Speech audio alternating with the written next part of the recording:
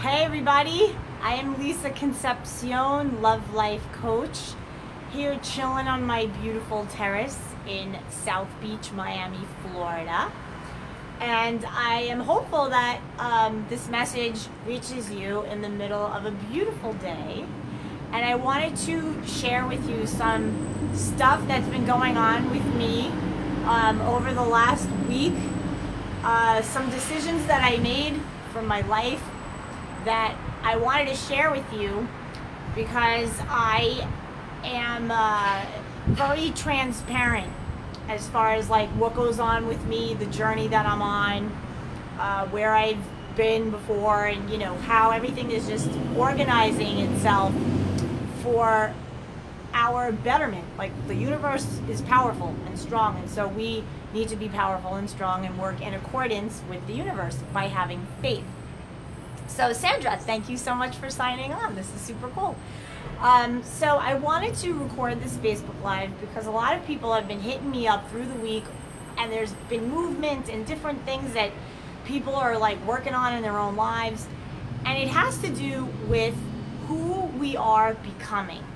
So, we all have things that we want. And as a love life coach, a lot of the people who come to me are wanting to maximize their relationship or if they're single, they want to find that partner, that ideal partner for them.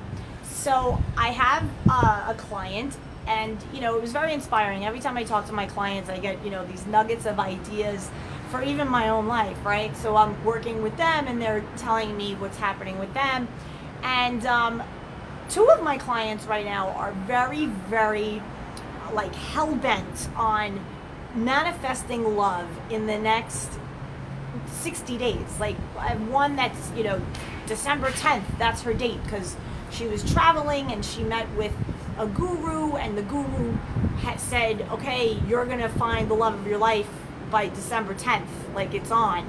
And she took that and said, okay, December 10th is my jam. So that's how she's existing in the universe and, you know, in her life. And so she is working with me to step into the person that she wants to become is becoming so that then she could attract and be a vibrational match to the guy that she wants to invite into her life that she wants to align with and meet and romantic and the whole thing right? So she's working with me on that. And one of the things that we were talking about is um, mindset meaning the belief that what you want exists already that you are worthy of having it, and then getting into the mindset so that you align with it. And a lot of people, another client, same things, wants a guy, and she's super religious, super, you know, really religious, hardcore religious. And yet, what I find so amazing is that we could all say that we're super spiritual or religious or whatever, but when it comes to manifesting the things that we want, we have doubts we doubt if it exists or we say we want something so badly and then the next breath we're like yeah it's never going to happen you know or and it could be anything. It could be anything. And we just have to really pay attention to our language and really speak the words that would come out of the mouth of the person that we are to become the person that we need to step into to get the things that we so want for our lives. So understanding language is super, super important. And so, one of the things that I bring to my coaching practice that sets me apart from other coaches that are out there is that I had a 23 year career in public relations and marketing. And so, words and language and how they're used to evoke a certain kind of response from people and to be influential, etc., is my jam. And where that comes in handy as a coach is that I can help people through language to paint their reality, to create the reality. Now, as we're talking about creating a new reality and stepping into the person that we want to become, right? We all have visions of ourselves greater, bigger, striving for more things and, and, and by things I mean you know experiences, material things, you know more time with family and friends and loved ones, all the things that we want, right? All the things that wake us up in the morning.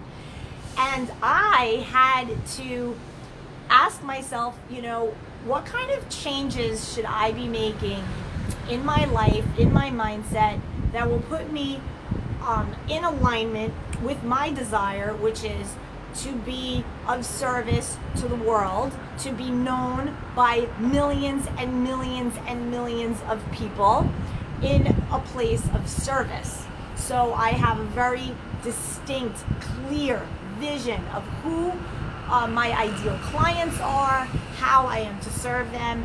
And so, in order to attract these people, the people that I'm to help, I don't worry about the how. That's up to the universe. That's God's work, right? God brings me my people when I am aligned with the receiving of them, and then I serve them with love and purpose. So, in order for me to get my mind into a place where it's like, okay, people are out there. There are a lot of people out there looking for what it is that I offer. There are people struggling in their relationships, struggling um, independently, getting over a breakup. There are people who are single and they're tired and fed up of being single and dating assholes and they're over it. And they don't know what they're doing wrong, right? So they keep attracting the same kind of people. They don't know why. So this is the stuff that I work with. This is the stuff that I help people with. But in order for me to continue to grow my business and to do it from a place of service and love, I have to love up on me and I have to behave in a way that is abundant if it is abundance that I want to attract in the form of clients, in the form of money, in the form of ideas, in the form of, you know, people who are coming in and out with opportunities for me. So, how do we do that, right? What did I do? How did I get into this place of, all right, listen, I'm living in a one bedroom apartment, which I love here in South Beach, Miami, Florida. I have, I have dreams of going into you know a three bedroom condo palace in the sky. Beautiful beautiful you know like everybody out there. You guys have dreams of how you want to live. Um, you know flying my parents down to visit me whenever the fuck i want to see them like boom i got planes coming here. You're staying with me. I'm working. I'm traveling. I have this vision right? But isn't it interesting that in order to get to over there you must learn how to revel in where you are here. So, what I did was I went on Groupon and I hired myself a house cleaning service. I used to have house cleaning service up in New Jersey when I lived in a home up there, and I loved it because um, every now and then you want to have that good scrub, crazy hands and knees scrubbing the floor, you know, the grout, the tile, the nooks, the crannies, all that. And I'm a really, you know, tidy person, but when it comes to that like hands and knees scrub kind of thing, it's not my jam. And you know what? I'm not going to sit here and pretend that it is. However, I felt so nice to be able to take my money and employ someone else and they had came and cleaned. They did that hard, heavy scrub. I was doing the other stuff, the, the dusting and whatever, and we were together. I put music on, and this lady was a delight, amazing. But what did that give me, right? Right now, my house looks like something out of, I'm not even kidding you, it's as if it's a hotel suite. Everything is in its place. It is absolutely beautiful. The floors are sparkling. The molding clean, everything, everything spotless, amazing. And how you feel with that deep clean, the bathrooms, you're looking at, it's as if a, a, a magic wand came and went bling, bling, bling, bling. Oh my God. Woo! A breeze came and blew my little camera off. But it's as if a magic wand came and like totally wiped sparkly diamonds nice over my beautiful um, apartment that I have here. You know, I'm right now looking at the water. It's you know, gorgeous. It's beautiful. It's about to have sunset. So I wanted to bring that message to you. Another thing I did too was got my car detailed. So I want uh, a Porsche Panamera, I think right? This is kind of where I'm at. I want to move. I want to up level my life. This is this is like you know where I'm going into for the end of 2018 into 2019. I'm making some very serious decisions with how I'm living my life so that I can up level my life, right? So these things take actions. You can't just say I want this and then you sit your ass and I'm chilling here with the with the elephant and you know my, my drink and I'm just like, yeah, okay, so I want this. And I'm just gonna like chill and do nothing and like whatever and wait for it to come from the infinite into my experience. No.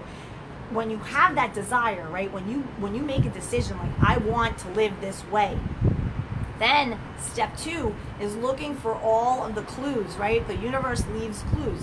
Who am I meeting? What where am I being invited to go? All these things. I had the idea. I need to get my apartment deep, deep cleaned, and I need to get my car detailed. Why? Because I want to revel in abundance, live as if I am abundant because I am. And abundant people do not live with um, messy shit everywhere and, and things in a disarray and, and, you know, dust balls under the bed. Like, they just don't do that, right? So I said, well, this is what I'm going to do. I'm going to go on Groupon. I'm going to find car detailing, deep clean apartment, and my car always immaculate. The guy who was cleaning my car was like, oh my God, what year is this car? This car is amazing. And I made the decision that although I am interested in getting a, a Porsche Panamera, I also want to keep my car. My car is a is a 2005 BMW and I want to keep him. I, I just have a thing with vintage cars and I want to invest money in him and restore him and keep him. Yes, he's a boy. My car is a boy. And his name is Klaus. And I just saw him getting detailed and I felt so good that I could do this for him. We've had such a journey together, me and this car. And uh, I just figured, you know what? If I want to get over there, I have to love up on Klaus. I can't have him all like dirty with water stains and no waxing and whatever. So I took him for like the ultimate bath of his life. It was amazing. And so now I have my car impeccable. I have my home impeccable. I'm able to create. I feel, oh my, I feel completely different in my own apartment now. I, it's unbelievable. And I'm so committed now to just really making my living space a reflection of who I am now. I was listening to um, some wealth consciousness um, audios on YouTube. You can check out my YouTube channel. I have a bunch of really great audios saved to my channel that you can check out. It's just looking up Lisa Concepcion on YouTube. And you can help yourself to all the videos that I watch that I use for my own uh, knowledge and my own up leveling. And so I'm listening to one, and the message was so clear. It was, you must live abundantly now. Always live abundantly. If it means that you're going to just sit on your terrace with the nice plants overlooking your, chilling, chilling out, watching the sunset, like as if in my mind, honey, I'm going to be doing this years from now from a terrace, probably four times the size of this one, maybe bigger. And I'm like, well, do it now do it now. It's the same sunset. It's the same view. You know, I mean, it might be different. I might move, whatever. But my point is, live abundantly where you are now, and look at that when you are dating. Think about it. Think about the people that you're attracting. Is this? Am I coming at dating from a place of abundance, or are you coming at it from a place of lack? Think and listen to what you're saying. If you walk around and you think, oh my God, there isn't anybody good. All the women are psychopaths and crazy. It's just land of the crazy. And these men, they don't commit, da da da. You're only living in lack and you're going to perpetuate more lack. But if you love up on yourself and you say, you know what, it's all good. I see people in love all the time. Like, boom, there's a couple right there holding hands. Boom, there's a couple right there making out right there, kissing, grabbing ass. It's awesome. Like, I want to see that shit around me because I want to have proof that what I see around me is proof of my own abundance, right? So if you're looking for a relationship, go out and spy. I spy love. I see love everywhere. If you are looking to up level financially, go around and look at beautiful things. There's abundance all over. And look at things that aren't even money related. We are full abundance. Turn your water fa- faucet on. Abundance, water flows, air, breathe it in, breathe it out, like all good. So I wanted to share this message with you because one of the things that I am offering with my coaching is a free love life assessment and now a lot of people have been filling this thing out and I what ends up happening is in a couple of days I come back to you one-on-one for free through email and I respond to all of the answers that you provided me. and I give you a very in-depth love life per, uh, uh, assessment that you can keep. You know, just a just a take of like some things to think about that are very customized and tailored to you and what you're going through. And I had somebody coming at me who said, "I watch your videos on YouTube, Lisa, and I am struggling with self-love. I had been knocked down financially. It has nothing even to do with relationships. Um, he, this person was single, and he just struggled with the self-love and I guess he saw a YouTube video of mine about self-love and how important it is to love up on yourself as much as you can, the more the better. And he wrote me his love life assessment for himself. And it was really nice. So anyway, I responded to him uh, and one of the things that I even told him, I said, listen, the quickest thing that you could do the most immediate thing that you can do, and you can even pay someone to do this for you, is to get your living space on point. Get your living space on point. And if you're in a situation where you're in between and you know you're so close to moving into a new place and you're just right there, it's like super, super close, or you're planning on um, enhancing, you know, what it is you have in your life, in any regard of your life, be uh, mindful of where you are now and make it the best, like the best. I bought pillows for my couch.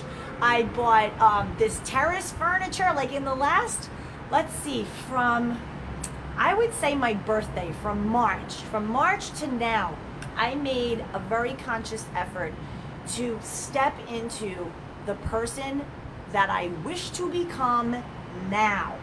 Not, oh, I can't be her yet because I'm not making that kind of money yet. I'm not a multimillionaire yet, so I can't live like that yet. Bullshit! Bullshit! Check me out. You think I'm going to be doing anything different when I'm a multimillionaire? Notice the word I said when, not if. When? No, I'm going to be chilling on my terrace with my lucky, prosperous elephant, checking out the sunset, loving life. I am not kidding you. So why not live like that now? I'm already abundant. I'm loved by the universe. The universe has our back always. Whatever we ask for, it, it can come. Hey, what's up? What's up? I love it. Yeah, come on out and have some drinks with me. Love it. Love it, love it. See, this is what happens. You never let anybody's negativity and bullshit get you down. I just invited this guy out to have a cocktail with me. It's not my problem that he's not high vibe like I am. He could totally do whatever the fuck he wants. It doesn't matter because I'm loving life. I'm chilling with you people. Life is so good. So, tips. Number one, if you haven't given your car a good clean, handle that. Telling you, when you step into that car, I have an 05 BMW, dude. I the car is old, but he's amazing. And I sit in that car now. It reminded me of the time when I first picked him up from the dealership. It was the same. The leather was sparkly, everything nice. And I'm like, yeah, this is the Lisa that I know I am. This is who I am. And when you live in that place and you revel in all that is abundant and good in your life, guess what? More cool things come. So that's the one thing that I'm offering is the Love Life Assessment for free. You can find it at lovequestcoaching.com, so you can head over there. And the other thing that's really cool that's happening this Thursday night in Miami is I have been asked to be a keynote speaker at the Epic Masters, Epic Life Masters networking function that happens once a month here in Miami on Brickell. And you can check that out by um, logging on to Epic RSVP. Epic RSVP. These are people who are in business. These are people who um, are independently employed. They have businesses here in Miami. They're just movers, shakers, a lot of real estate people, a lot of um, people doing cryptocurrency, marketers, sales executives, you name it, but very high, high level. People looking to go from here to up level more. And it's fantastic networking. Um, last time I went, ladies, I was one of maybe like 10 women in the entire place, and there were like 100 men there. This week will be more women because of the topic that I'm speaking on, which is sex, love, and business. So that's this Thursday. Again, check out Epic Life. Um, uh, no, it's Epic Life Masters is the name of the group. And the RSVP is epicrsvp.com. And you can get a ticket there. It's 20 bucks. Food, drink, amazing networking. I'll be there. We can hang, and you'll never know who you'll meet. So live abundantly. Take your ass out. Clean your house, hire somebody to do the deep scrubby scrub, get your bathrooms on point, get your shower on point, get your car on point, and live well right where you are. I wish you all abundance and joy. And hey, if you are in a situation where your love life is jacked out, off the rails, or you just want to up level it, right? You're in love, you have a good thing going, and you just want to take it to the next level, hit me up. Lisa at lovequestcoaching.com. You can check out lovequestcoaching.com and there check out the free assessment for your love life from me to you. Have a great night, everybody. Thanks so much for tuning in. Bye.